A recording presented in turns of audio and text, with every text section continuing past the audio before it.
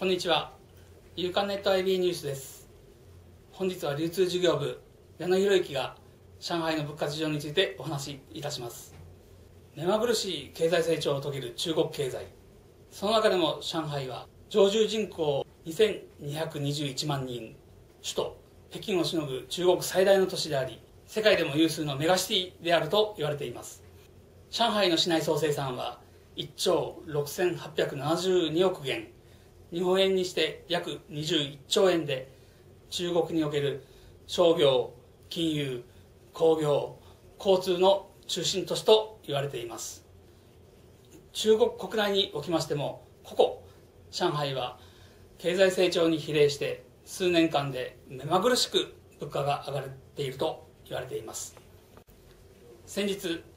上海市内にある写真のようなスーパーやディスカウントストアに視察に行ってきました。日本の物価と比べても3分の1程度という印象を受けました。例えば日配品を見てみましょう。お米は量り売りと袋詰めされたものの2種類ありましたがほとんどが1 0キロ単位で売られていました。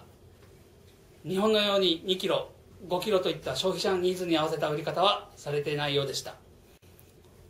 価格は1 0キロ65元から80元。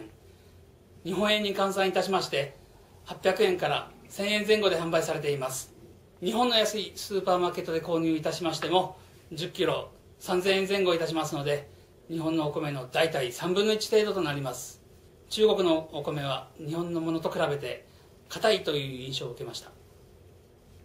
続いて飲料です。我々の食生活には欠かせない牛乳は 960ml で9元から12元。日本円に換算して120円から140円といったところでした。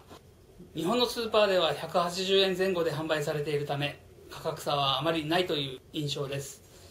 ちなみに中国の牛乳は日本のものよりも薄いという気がいたしました。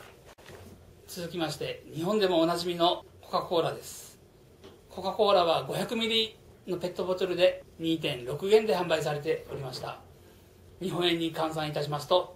約33円となります。高いお店で購入いたしましても3元程度で販売されておりますので中国の販売価格は30円から40円前後で販売されているという感じです。日本では自動販売機では150円で販売されていますがスーパーでは100円前後中国国内の価格は日本の3分の1程度で販売されていると言って過言ではありません。最近若い人たちを中心に売れているという食パンは日本よりもやや小さめで10枚ほどスライスされた1斤あたり約4.2元。日本円換算で53円。高いお店でも6元ほどですので50円から80円台で食パンが1斤購入できます。日本では有名メーカーの食パンが150円前後で販売されていますのでこれも3分の1程度といったところでしょう。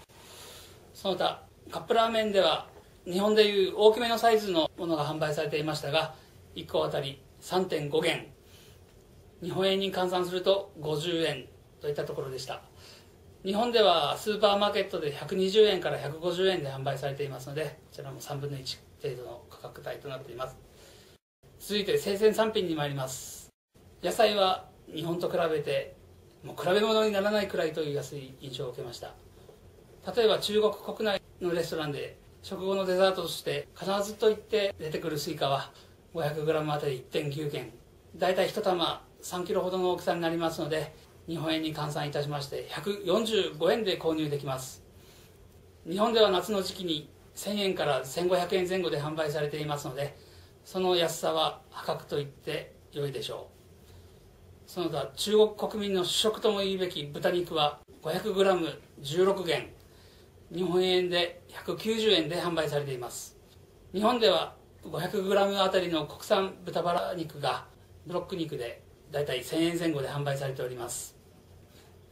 鮮魚はパック詰めではなく氷の上に並べられた状態で販売されておりました。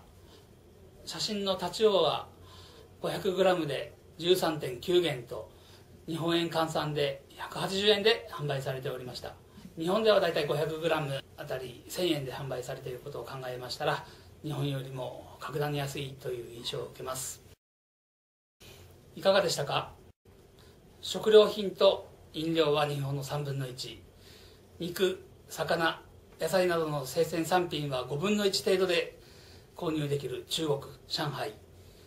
高度な経済成長により物価が高騰していると言われておりますが食生活の面では日本よりもずっと財布に優しいという印象を受けました。以上中国上海の部活場でした。